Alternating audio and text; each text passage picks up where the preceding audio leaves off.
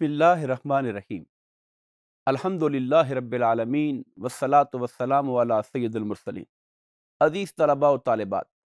मुताला मतन हदीस के इस मॉड्यूल में हज़रत अबू दरदा रज़ी अल्लाह तहो की रिवायत का बयान करेंगे। अन नबी सल्लल्लाहु काल, हुजूर नबी अकरम सल्लल्लाहु ने फरमाया, मा शई उन अस्कल फ़ी मीज़ान मोमिन यौमल क़यामा। क़यामत के दिन मोमिन के मीज़ान में कोई चीज़ ज़्यादा भारी नहीं होगी मिन खुलोकिन हसन, अच्छे अखलाक से। यानी जब अल्लाह ताला क़यामत के दिन लोगों के आमाल को तोलेगा। यहाँ पर यह कंसेप्ट जहन में रखिए कि आमाल का तुलना हक है। कुरान कहता है, वल वज़न योम हक क़यामत के दिन आमाल का वज़न किया जाना हक है। वो आमाल का वज़न कैसे होगा? शायद आज हम उसे अंडरस्टैंड ना कर सकें और विजुलाइज ना कर सकें, मगर रब कायनात अपनी शान के मुताबिक इस बात को मुमकिन बनाएगा कि आमाल को तोले जाएँगे। और जब आमाल को तोला जाएगा तो उसमें सबसे ज़्यादा वजनी अमल कौन सा होगा? हमारे नेक कामों में। तो यह हदीस पाक बता रही है कि सबसे ज़्यादा जो वज़न होगा नामा आमाल में नेकियों के हवाले से वो हुसन अखलाक का होगा। व इन अल्लाह, और बेशक अल्लाह लबगाजो नापसंद करता है। यबगाजो का लफ्ज बोग्ज से निकला है, बोग्ज। किसी चीज़ को हेट करना, नापसंद करना, नफरत करना।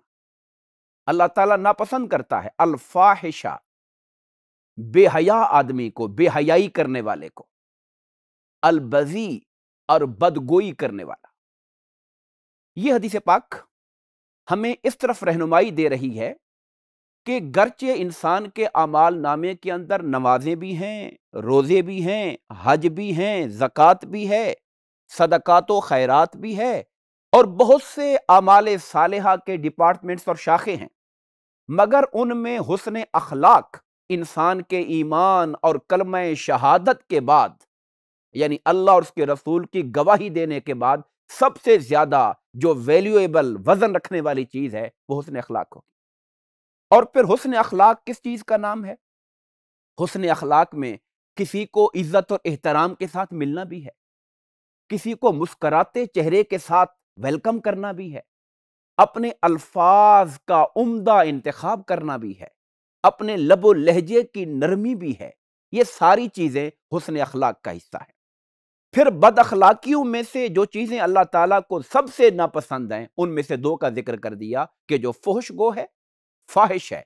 अब फहाशी बातों में भी है कि इंसान अपनी ज़ुबान से बेहयाई की बातें करे या उसके अमल में ऐसा तर्ज अमल हो जो हया के मुनाफी हो। और दूसरा फरमाया अलबदी जो बदगोई करने वाला है जो अपनी ज़ुबान से झूठ गीबत, चुगली, गाली, गलोच, नफरत अंगेज बातें करने वाला है, ये लोग अल्लाह ताला को सख्त नापसंद है। और हुसन अखलाक वो सिफत है।